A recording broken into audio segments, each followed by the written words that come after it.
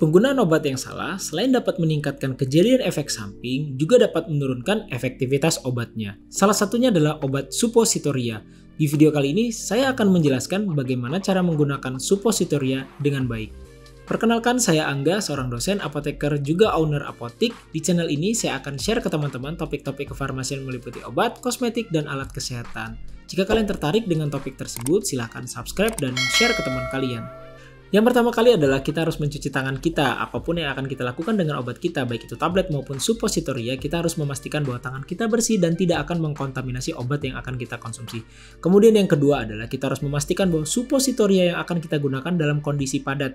Jika sudah meleleh, maka kita bisa masukkan dulu ke kulkas selama beberapa menit pada suhu 2-8 derajat Celcius. Bagian runcing ada di bawah, dan bagian yang tidak runcing ada di bagian atas. Apa jadinya jika Anda membekukan atau mempadatkan suppositoria dengan kondisi yang tidak sesuai, misalnya miring ataupun terbalik bagian runcingnya di atas. Maka bagian runcing tadi yang fungsinya untuk memudahkan dalam penggunaan dalam memasukkannya ke dalam dubur itu akan menjadi tidak sempurna sehingga proses pemasukannya pun akan menjadi terhambat. Kemudian yang ketiga adalah cek aturan pakainya. Apakah Anda menggunakannya satu atau setengah? Jika setengah, maka potong pada bagian tengah tegak lurus. Jadi bagian runcingnya tetap ada. Ya jadi kalau kalian lihat di gambar ini, ini adalah contoh suppositoria dan bagaimana cara memotongnya. Selanjutnya adalah lubrikasi atau licinkan atau diberi air dingin pada bagian ujung suppositoria. Tujuannya adalah untuk mempermudah proses pemasukannya ke dalam dubur. Selanjutnya yang kelima adalah posisikan badan Anda dalam kondisi terbaring dan menghadap ke kiri, kemudian angkat kaki bagian kanan ke perut dan masukkan suppositoria ke dalam dubur dengan kira-kira kedalaman 1 inci dari permukaan. Anda bisa mengukurnya dengan jari Anda.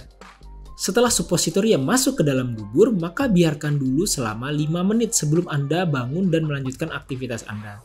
Setelah penggunaannya, lakukan cuci tangan lagi agar nantinya obat yang tersisa di tangan Anda tidak akan mempengaruhi atau mengganggu aktivitas Anda.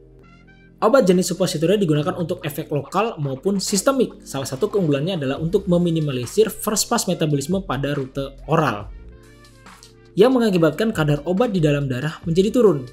Tetapi kalau kita menggunakannya juga dengan tidak tepat atau tidak satu inci atau terlalu dalam memasukkan suppositoria ke dalam dubur, maka ini akan mengakibatkan obat akan masuk ke sirkulasi hati dan mengalami first pass metabolisme juga. Oleh karena itu, pastikan obat yang Anda masukkan ke dalam dubur tadi itu sesuai kedalamannya. Jadi semua itu ada dampaknya, tidak asal-asalan. Baik, terima kasih telah menonton video ini, semoga bermanfaat.